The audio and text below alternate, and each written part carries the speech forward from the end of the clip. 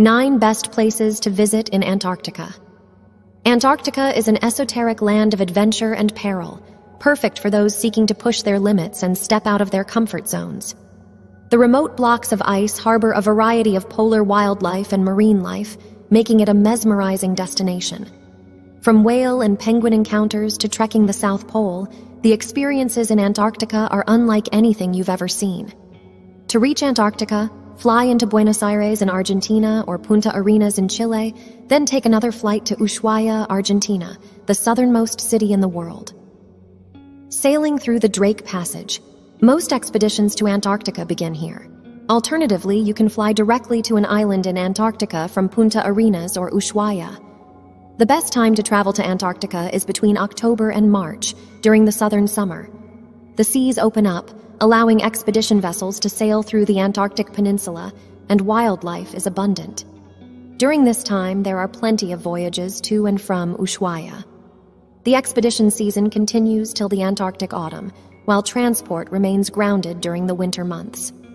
The Drake Passage is a wide stretch of water at the confluence of the southern Atlantic and Pacific Oceans. It's filled with fascinating wildlife, including albatross, leopard seals, orcas, and penguins. Sailing through the Drake Passage offers breathtaking views of gigantic icebergs, making it a preferred choice for travelers.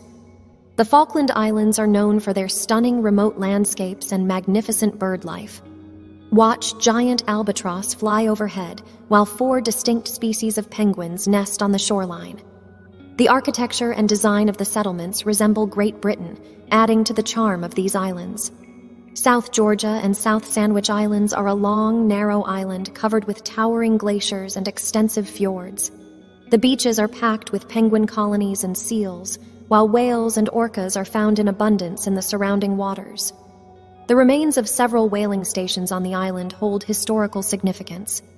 About 160 kilometers away from mainland Antarctica, the South Shetland Islands are almost entirely covered with ice. Inhabited by elephant seals, penguins, and sea lions, these islands are also home to research stations from eight different countries. Nine best places to visit in Antarctica. Antarctica is an esoteric land of adventure and peril, perfect for those seeking to push their limits and step out of their comfort zones. The remote blocks of ice harbor a variety of polar wildlife and marine life, making it a mesmerizing destination. From whale and penguin encounters to trekking the South Pole, the experiences in Antarctica are unlike anything you've ever seen. To reach Antarctica, fly into Buenos Aires in Argentina or Punta Arenas in Chile, then take another flight to Ushuaia, Argentina, the southernmost city in the world. Sailing through the Drake Passage. Most expeditions to Antarctica begin here. Alternatively, you can fly directly to an island in Antarctica from Punta Arenas or Ushuaia.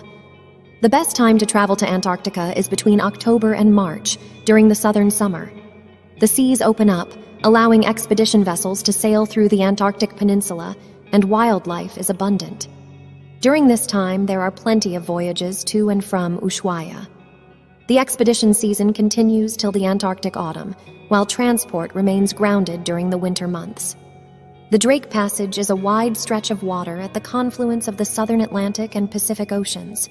It's filled with fascinating wildlife, including albatross, leopard seals, orcas, and penguins.